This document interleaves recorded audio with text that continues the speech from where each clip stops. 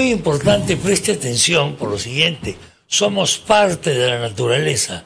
A veces nosotros nos creemos, como Homo sapiens, que estamos por encima de la naturaleza, grave error. No se nos enseña bien geografía en el colegio, no sabemos lo que es la lluvia, no sabemos lo que es una serie de fenómenos naturales. El ingeniero Miguel Yamasaki, que ya estaba en el programa, es el jefe del CENEPRED, Centro Nacional de Estimación, Prevención y Reducción de Riesgos de Desastres. Ingeniero Yamasaki. ¿Qué tal? Buenas tardes. ¿Cómo está, Chema? Buenas tardes, un gusto y un placer estar con usted. Gracias por venir. Primero, ¿el fantasma del niño parece que se disminuye un poquito? Eh, sí, efectivamente, ah, como usted bien lo decía, conocimiento de los fenómenos naturales, ¿no? Eh, hay un factor que incide o ha incidido en reducir la probabilidad de ocurrencia del fenómeno del niño en la magnitud que se estimaba. Debemos recordar que estamos todavía en fenómeno del niño, estamos en un calentamiento anómalo de la, de, la temperatura superficial del mar, que tiene incidencia también sobre la atmósfera, y es por eso que sentimos pues este, este, este verano ardiente y bochornoso después de muchos años, ¿no? Porque estamos bajo los efectos del niño.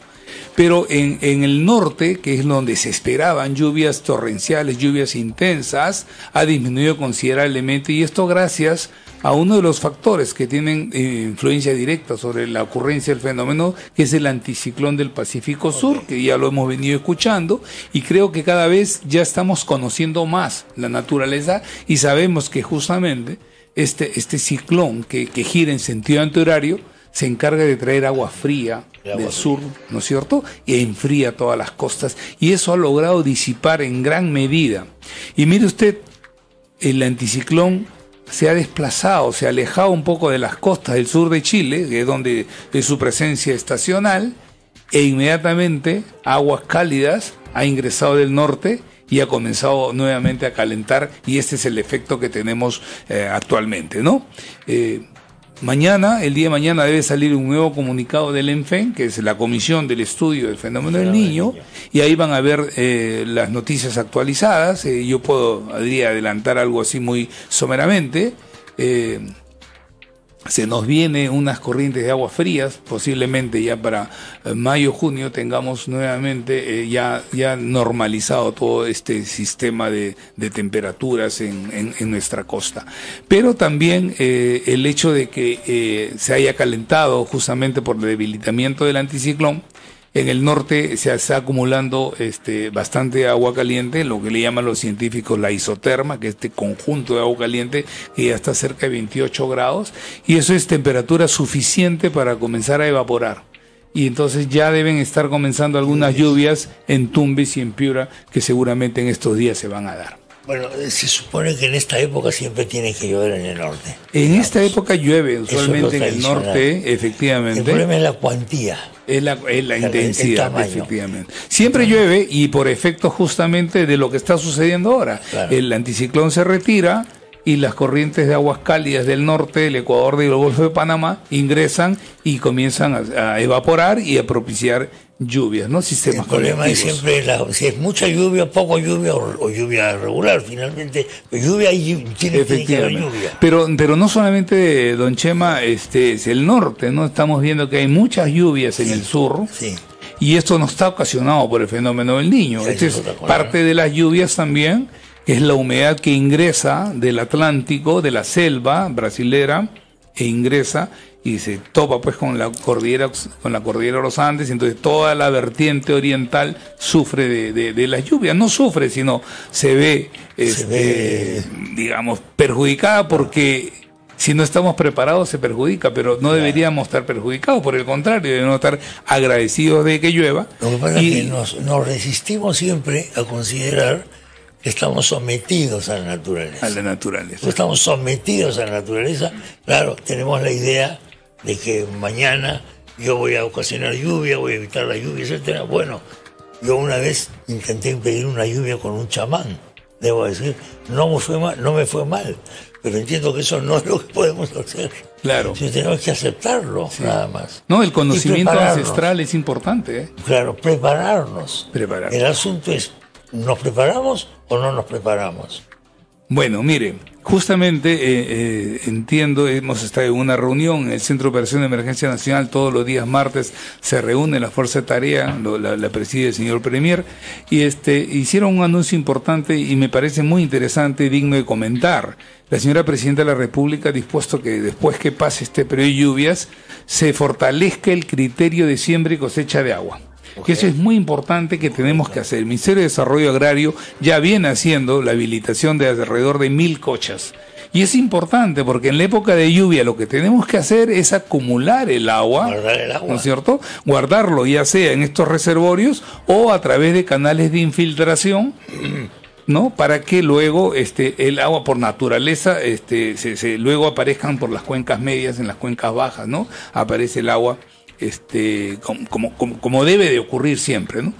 Si tenemos en consideración, y creo que alguna vez se lo comenté, don Chema, el 97% de las lluvias, del agua provenientes de las lluvias que van al, al océano eh, en la vertiente oriental, se pierden en el Atlántico. Se pierde, en este país sobre el agua, digamos. Sobre el agua. Pero tenemos sequías, eso es una cosa increíble. E, ese es, es increíble.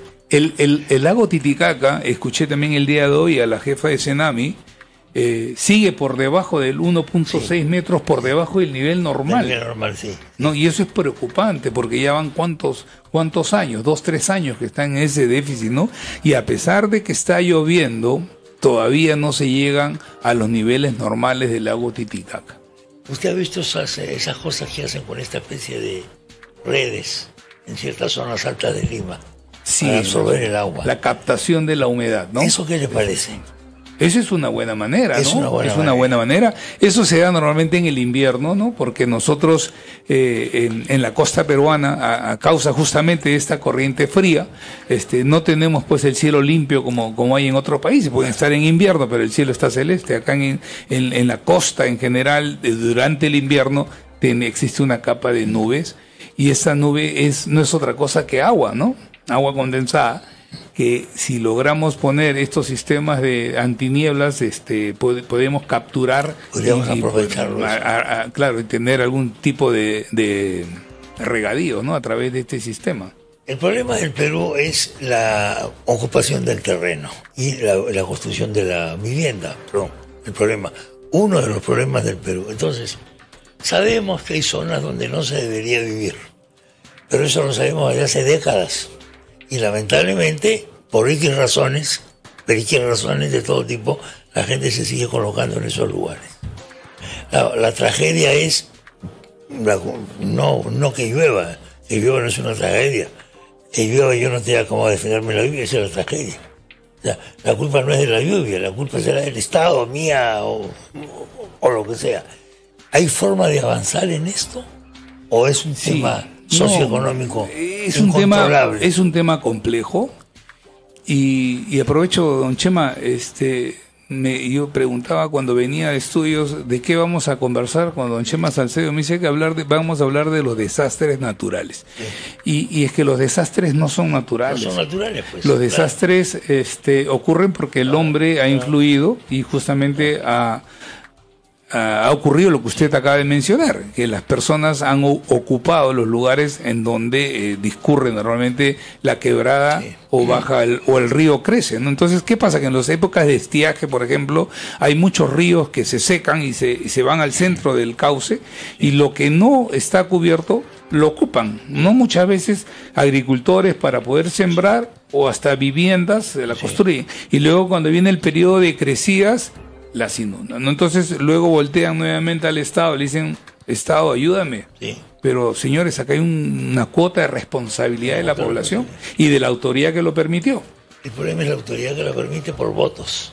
Por votos. No sé si la vez pasada le conté a usted, pero creo que sí. El caso de Ranrailca. ¿Usted se acuerda? Usted no, no, se acuerda porque no había nacido. Pero evidentemente Ranrailca es una, es, un, es una un desastre que ocurre en el Callejón de Guayras antes del fenómeno del año 70. Sí. Desaparece todo un pueblo, hay un deslizamiento de rocas, etcétera. Muchísimos años después yo paso por Ranrailca y veo que estaba repoblado prácticamente. Y no solamente eso, había un letrero que decía, aquí se construirá la Universidad de Ranrailca. ¿Cómo? Bajé el carro, yo, un poco tonto debo decir, a preguntar a la gente que había, pues me dice, mira, nosotros sabemos que esto es riesgo de muerte y todo ya, pero no podemos cambiarnos de lugar porque nuestras chacras están cerca. Y es demasiado trabajo cambiar las chacras, cambiar las casas, cambiar todo. Al final... Sí. Y es por eso que nos jugamos la vida. Eh, hablábamos de que es un problema social muy complejo, ¿no? Porque está este tema, pues socioeconómico, ¿no? Socioeconómico, claro. Pero bueno, este, si es preciso, existen algunas medidas eh, de, infraestructura que se pueden hacer para poder reducir el, el riesgo diques de contención o estas mallas geodinámicas que se están colocando en Chosica que permiten retener los sólidos. Son útiles las mallas, ¿no? Son muy útiles. Acá se han puesto en la Costa Verde varias. Esas son otras mallas, son otras mallas. Ah, Estas mallas, lo que, las de la Costa Verde, lo que impide es que caigan las piedras cuando hay un movimiento telúrico. Pero las que están en Chosica son unas mallas gigantescas de acero ah, que ah, contienen la avenida de rocas. De acero de acero, sí, sí, no las hacen acá, las entiendo que ahorita hay una cantidad de importante de mallas que se han mandado a hacer a Suiza, deben estar por llegar y las van a colocar, porque en el año 2017 cuando tuvimos el niño costero ayudó mucho estas mallas, permitió contener los sólidos y solamente discurrió el lodo, ¿no? Que con eso es bastante. Pero que no es tan mortal, digamos, como una roca. Claro, claro. Esa es la diferencia. Tenemos que hacer una pequeña pausa con su venia y vamos a seguimos con el ingeniero. Sigo, sigo con usted, ingeniero Yamazaki. Vamos a una breve pausa y volvemos de inmediato. Estamos viendo PBO con Chema Salcedo. El ingeniero Miguel Yamazaki, jefe del Centro Nacional de Estimación, Prevención y Reducción de Riesgo de Desastres CNPRET. Hemos pasado revista, ha pasado revista él, perdón, a lo que es el fenómeno del niño que finalmente va a ser de pantalón corto nada más, no va a ser un adolescente, no basquetbolista, pero también a los fenómenos de lluvia que estamos teniendo en el sur del país y la necesidad básica del Perú, almacenar el agua, imposible que un país que tiene tanta agua para regalarle al mundo tenga zonas de sequía o tenga problemas en la agricultura, falta de previsión. No aceptamos nunca que podemos ser víctimas de un desastre. Siempre pensamos que alguien vendrá, vendrá para salvarnos. En el intermedio conversaba con el ingeniero sobre, los, eh, sobre el sismo. El sismo que vendrá en algún momento. Y más tarde que nunca, como reza el dicho. Entonces ahí sí la cosa es muy complicada. Es muy complicado, don Chema, por el alto nivel de vulnerabilidad en la que viven la gran cantidad de personas, sobre todo en Lima, que concentra alrededor del 30% de la población del país y que en su gran mayoría habitan en las zonas eh, periféricas que han sido construidas sin las normas adecuadas, sin la asistencia adecuada y con material que no ha sido el adecuado. Porque obviamente compran el ladrillo que es más barato, pero que no tiene el nivel de resistencia de un, de un ladrillo que sí está certificado. Pues lo compran porque es más barato. Pero la capacidad portante de esos es, muy reducido. Eh, el nivel de mezcla que utilizan tampoco, porque mm, vienen maestro de obra, le dice, para ahorrar un poco, le meten menos cemento.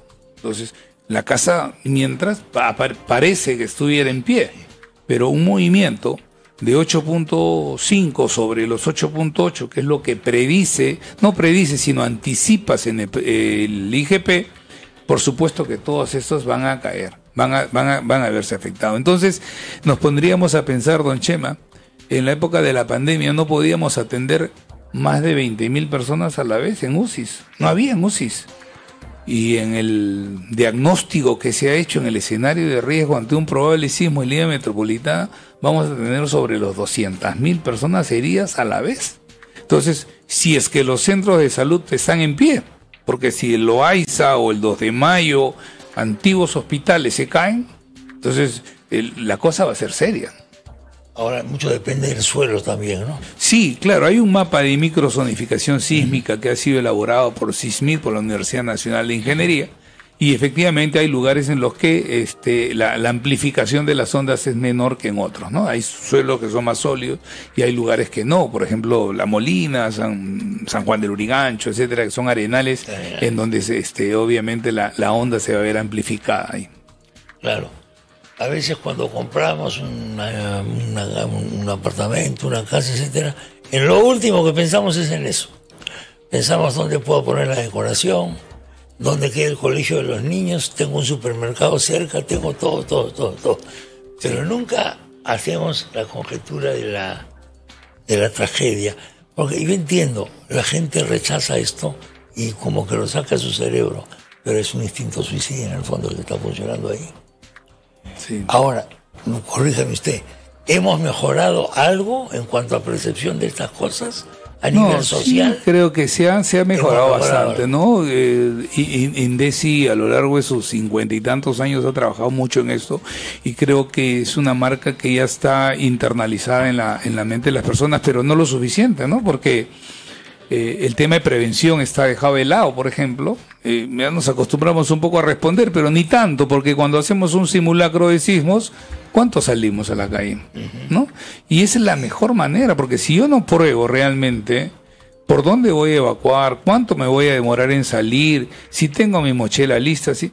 entonces, este, si no, si no hago lo mínimo, entonces, Me ha hecho usted recordar que llegando a mi casa voy a abrir mi maletín anaranjado, que está en la puerta, para ver si ya venció la lata de atún. exacto. Me acaba usted de recordar eso, porque tengo yo mi maletín ahí junto a la- mi Hay que mochilita, junto a la puerta y la gente que hablaba qué gracioso, ¿cómo gracioso? Se, Sí. se mueren de risa, mira que hombre tiene su mochila en la, en la puerta, qué gracioso dicen, pero... no, no, no, no tenemos esa conciencia y es de prevención y es donde el gran desafío que tiene Cenepred, por ejemplo. ¿no? Ahorita estamos abocados todos en fenómeno del niño desde el año pasado, pero una vez que pase esto, este, tenemos que reorientar todo el esfuerzo para poder lograr fortalecer esa cultura de prevención para el caso de sismos. Somos un país que vivimos permanentemente expuesto a riesgo de sismos. Si, si IGP este, expondría la cantidad de sismos que ocurren diariamente, que son de menos de 3 grados, usted se queda sorprendido. Todo el día la Tierra está temblando. Siempre Lo que pasa es que es imperceptible para el hombre, ¿no? Pero la- los sensores, las máquinas están registrando permanentemente. Entonces, este, en un país así, tenemos que vivir pues de permanentemente en alerta, previendo que en cualquier momento Pero puede la- llegar. La Tierra está en movimiento. La Tierra no está terminada. La Tierra se está haciendo constantemente. Sí, sí. Constantemente. Eh, mañana, ese, mañana va a desaparecer este continente. Como dice el doctor Tavera, dice, ¿no? El día que ya no ocurran temblores o te- es porque la Tierra ha muerto. La Tierra ha muerto, pues. Así es. Entonces La ya no habrán, vivo. no habrán lluvias, ya no habrán nada, no habrá ninguno, porque esta es parte de la dinámica de la Tierra. ¿No es cierto? Entonces, mientras la Tierra exista como tal y esté viva, van a ocurrir todos estos fenómenos que gracias a Dios ocurren, porque eso significa que la Tierra está viva. Siempre y cuando no nos caiga un meteorito, ¿no? Ese Ah, bueno, ya ese es, ese es- Ese. es otro tema. Eso ya es otra cosa. Si no, pregúntenles a los dinosaurios lo que les pasó por se- la, la gran teoría, ¿no? De la destrucción de los dinosaurios, ¿no? Hoy Dicen que por esa razón no, no lo sé exactamente. Exacto. Bueno, ¿qué viene ahora en Cenepred? ¿Qué es lo que están, qué es lo que están Mire, eh, a ver, nosotros como le decíamos, trabajando en el fortalecimiento de la cultura de prevención, eh, hemos logrado, o gracias a Dios, el gobierno nos ha apoyado en este sentido, el Ejecutivo, nos ha otorgado un presupuesto que nos va a permitir eh, a partir del próximo mes tener representantes en todo el país, Ok. en los gobiernos regionales. Precisamente el día de hoy en la tarde voy a suscribir un convenio con la Asamblea de Gobiernos Regionales, con el gobernador del Cusco, Wegner Salceo, este, que nos va a permitir acercarnos más a los gobiernos regionales, porque a partir de allí se tiene que trabajar para abajo.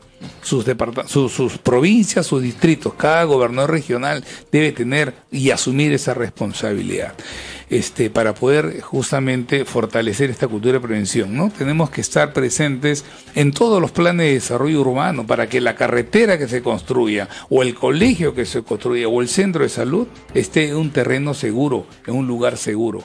¿No? Porque no, no se ha estado haciendo eso, ¿no? Y es por eso que suceden estas cosas. Bueno, pues ojalá esto funcione bien. Yo creo que me da la impresión que en conciencia hemos mejorado. Evidentemente nos falta, nos falta muchísimo, ¿no? En, la- en las regiones son conscientes de esto. Sí, hay regiones que sí. Hay regiones, regiones que sí. Sí, por supuesto que sí. ¿Y Hay regiones que son muy conscientes medios? Tienen Se- medios. se- Se les- el, el- el- el Estado les otorga, les otorga un presupuesto especial, que es el presupuesto el 0069, que existe exactamente para eso, para atención de Siempre emergencias y para acciones No. de prevención. Claro, nos hemos quejado del déficit de maquinaria. ¿Cómo estamos en ese sentido Mire, ahora? a raíz del fenómeno del niño anunciado del año pasado, se han adquirido maquinarias este, a nivel nacional, han sido distribuidas. Ministerio de Vivienda, el Ministerio de Desarrollo Agrario, la Autoridad Nacional del Agua, el Ministerio de Defensa. Actualmente tenemos una capacidad de respuesta sorprendente.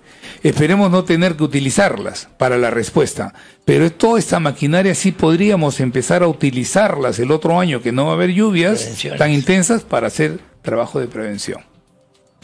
Ojalá lo hagamos. Yo creo que sí. Ingeniero Yamasaki, gracias por Muchas gracias, don Chema. Para Saludos por el CNEPRED y alertas, por supuesto, a la gente a tomar las medidas del caso.